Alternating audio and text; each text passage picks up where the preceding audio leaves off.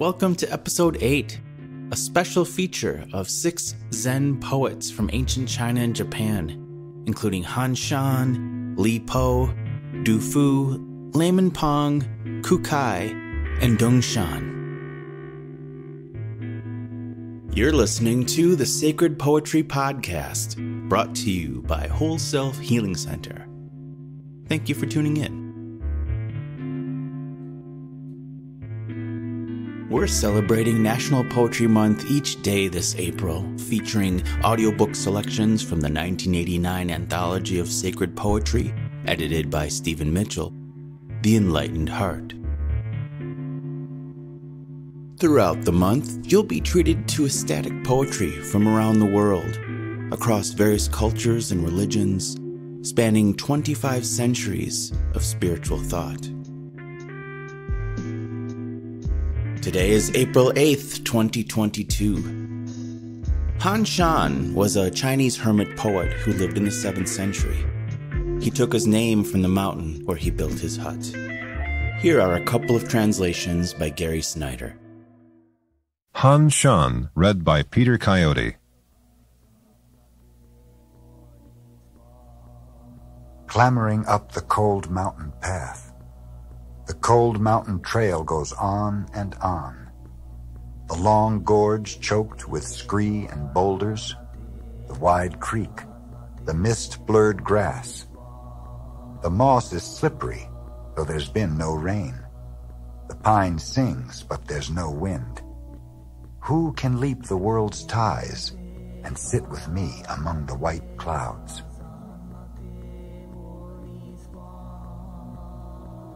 My home was at Cold Mountain from the start, rambling among the hills, far from trouble.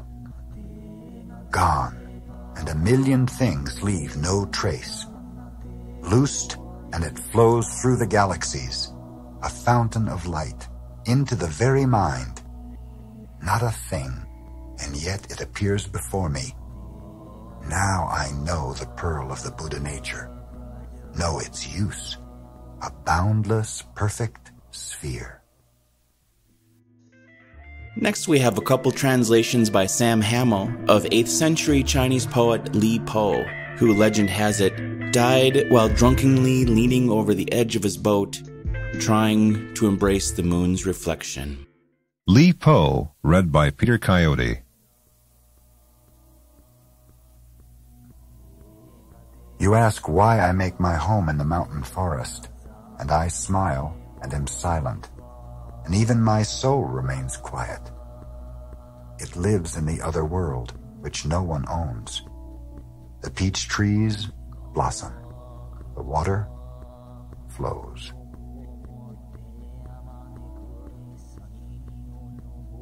The birds have vanished into the sky, and now the last cloud drains away. We sit together, the mountain and me, until only the mountain remains.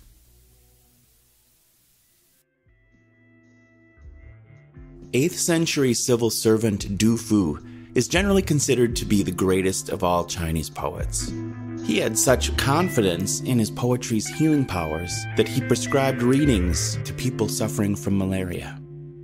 Here's a short piece translated by Kenneth Rexroth. Du Fu, read by Jacob Needleman.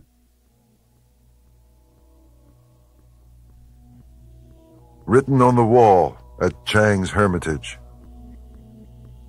It is spring in the mountains. I come alone, seeking you. The sound of chopping wood echoes between the silent peaks. The streams are still icy. There is snow on the trail. At sunset, I reach your grove in the stony mountain pass.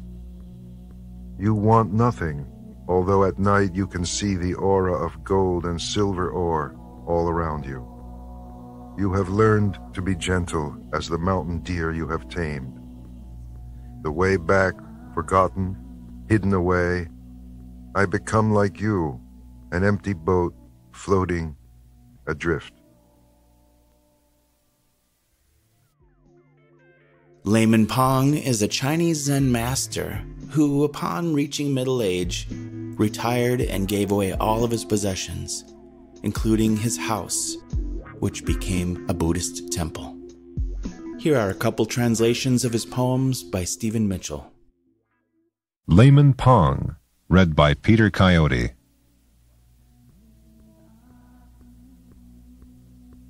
When the mind is at peace, the world too is at peace. Nothing real, nothing absent.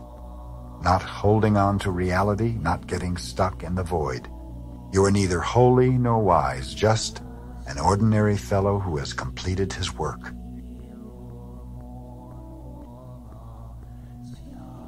My daily affairs are quite ordinary, but I'm in total harmony with them. I don't hold on to anything, don't reject anything. Nowhere an obstacle or conflict. Who cares about wealth and honor? Even the poorest thing shines.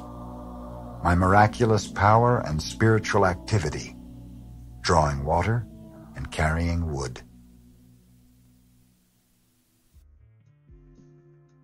Kukai, also known by his posthumous name Kobo Daishi, was a 9th century Japanese abbot, calligrapher, scholar, and founder of the Shingon school of esoteric tantric Buddhism in Japan.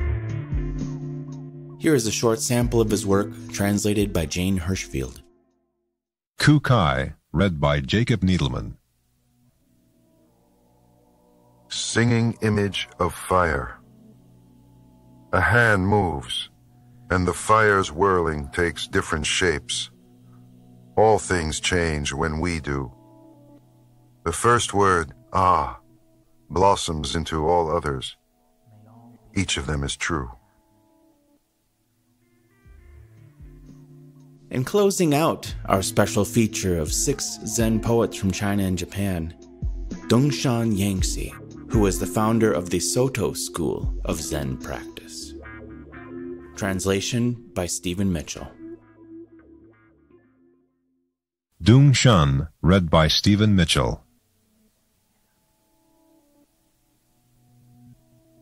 If you look for the truth outside yourself, it gets farther and farther away. Today, walking alone, I meet him everywhere I step. He is the same as me, yet I am not him. Only if you understand it in this way will you merge with the way things are.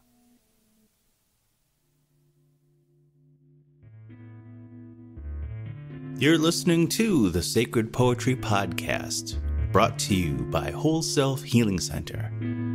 Thank you for tuning in.